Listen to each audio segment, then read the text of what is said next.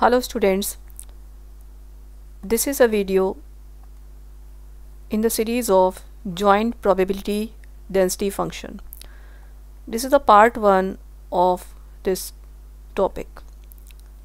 Joint PDF means joint probability density function. In this particular video, I will be discussing one question and if you see in this question two variables are provided x and y and a joint density function is given fxy which is equal to 1 by 8 6 minus x minus y. X is from 0 to 2 and y is from 2 to 4 in order to make a better understanding I will draw the reason.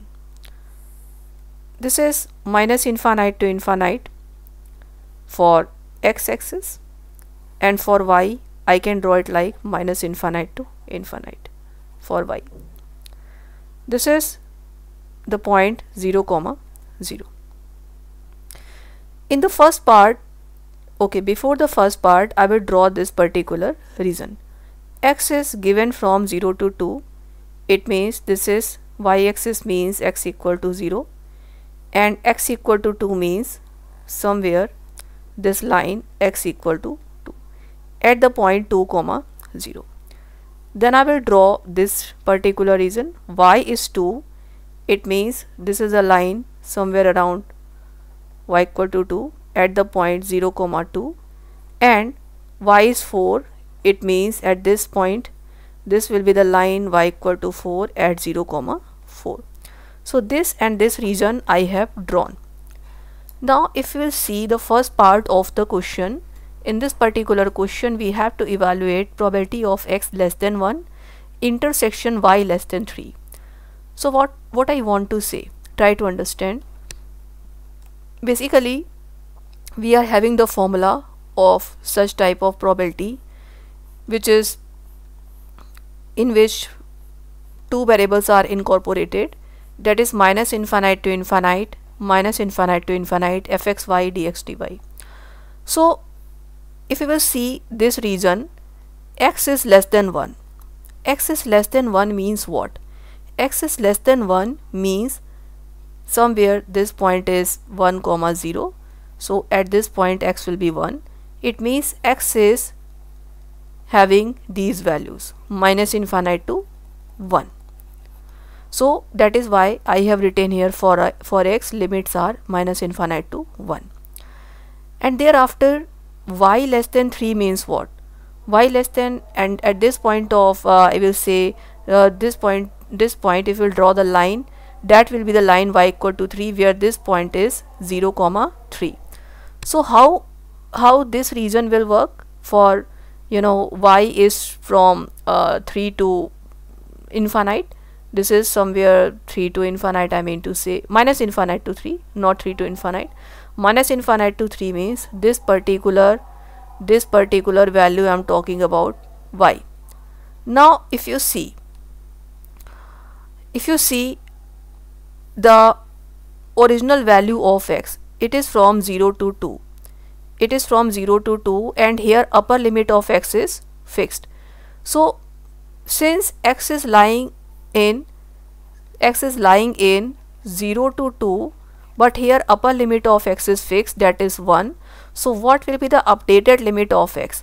Updated limit of x will be 0 to 0 to 1 updated limit of x will be 0 to 1 so what I want to say it means I will draw a line here at x uh, which is x equal to 1 so this particular 0 to 1 I am talking about this particular I mean to say uh, x is less than 1 means this particular reason I am talking about. X is less than 1 but actually which is greater than 0 now thereafter if I will talk about limit of y upper limit of y is fixed here 3 but lower limit we can take from this interval. So which is from 2 to 3 which is from 2 to 3 here it is y equal to 2 and here it will be y equal to 3 so what will be the common intersection? I mean to say common region that will be this one where x is from 0 to 1 and y is from 2 to 3 so that is why this particular limit is indicating this particular intersection. x is from 0 to 1 and y is from 2 to 3 so that is why it is updated like this. Now students if you see x is from 0 to 1 so that is why we can deal with it like this. Double integration 0 to 1 and fxy is 1 by 8 6 minus x minus y. So this 1 by i 1 by 8 i have taken outside because it is a constant. So 0 to 1 6 minus x minus y it is a limit of x. And thereafter we will apply limit of y which is actually 2 to 3 so we can say here it is a concept of double integration and we know how to deal with the uh, concept of double integration with respect to x y will be constant. So on integrating it with respect to x what will be getting? 6x minus x square by 2 minus xy upper limit minus lower limit will give us these values which is actually 11 by 2 minus y. So now this double integration is converted into the single integration multiplied with 1 by 8 1 by 8 multiplied with this single integration and all of us know how to deal with the single integration. So this will be the single integration and limits are from 2 to 3 on solving this particular limit we will be getting 3 by 8 which is not a big deal as single integration is not that much complicated. So this 3 by 8 is students actually the answer of part number 1 thereafter. If I will talk about part 2 in this part 2 we have to find probability of x plus y less than 3 so we can check it again in the question part. Probability of x plus y less than 3 yes we are right here. So this particular value we are going to talk about. See I have drawn the reason one more time here as per the requirement of B part here this is a point 0 0 this is a line x equal to 2 fine. Because in our question x is lying from 0 to 2 that is why I have taken it like this. And y is from 2 to 4 so that is why y equal to 2 line y equal to 4 line. Some basics are there. This is a line y equal to x. So this is a line y equal to minus x. So what will be the line y equal to 3 minus x? Just 3 steps ahead on x-axis and y-axis so this is a line y equal to 3 minus x. So that is why I have drawn this line from 0 to 3, 0 comma 3 and 3 comma 0. I have joined these two points 0, 3 and 3, 0 and this will create an intercept at 1 comma 2. Now the question is x plus y less than 3. This region we have to deal with. x plus y is less than 3 means y is less than 3 minus x limit of y is below 3 minus x. So it means I have taken here vertical strip where this is the point y equal to 2 and on this line at this line y will be 3 minus x. So if I will take this strip from x equal to 0 to x equal to 1 this whole region which is highlighted by yellow color this will be obtained this will be covered. So thereafter li limits are obtained here of x and y. So no problem. Now we can handle the double integration. As we know the probability of x plus y less than 3 minus infinite to infinite minus infinite to infinite fxy dx dy. So as we know limit of x is from let me check it again. Yes it is from 0 to 1 and limit of y is from 2 to 3 minus x. This is a constant limit, this is a variable limit. So as per the rule of double integration, we will apply variable limit first.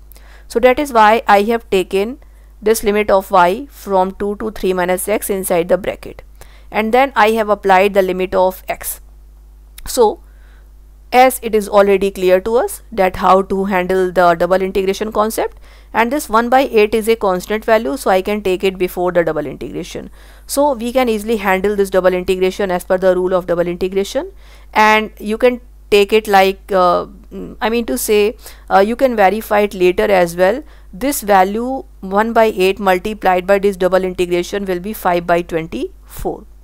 So students this will be our second solution I mean to say this will be our answer of the B part. Now, if we are going towards the third part, in the third part we have to deal with this conditional uh, this probability which is based upon conditional distribution. Probability of x less than 1 given y less than 3 how to handle it? So you see here probability of x less than 1 given y less than 3 as per the formula x less than 1 intersection y less than 3 its probability upon probability y less than 3 and this was the value obtained by us in a part. So that is 3 by 8 and what about this particular value? So this particular particular value I have obtained here. Probability of y less than 3 is what? So since y is originally from 2 to 4 2 to 4 but we have to keep it less than 3 so upper limit is 3 and lower limit will be 2 and function of xy dy. But there is no restriction upon x. So originally x was given from 0 to 2 so that is why I have taken x from 0 to 2 so just uh, we can replace here the value of fxy and thereafter it will be converted into the double integration. And its value will be 5 by 8 so that is why I have written I have written here 3 by 8 upon 5 by 8 ultimately it is 3 by 5 so students this is our final value of final answer of the C part. So students this was all about uh, the probability joint probability density functions uh, um, and all the uh, desired parts here related to this concept so i hope this video will help you a lot in your studies regarding the topic of joint probability density function. Thank you so much for watching this video